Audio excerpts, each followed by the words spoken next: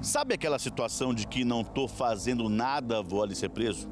É a situação desse jovem que você visualiza nas imagens de André Rezende. Apenas 21 anos de idade, trabalhador, não tem passagem policial.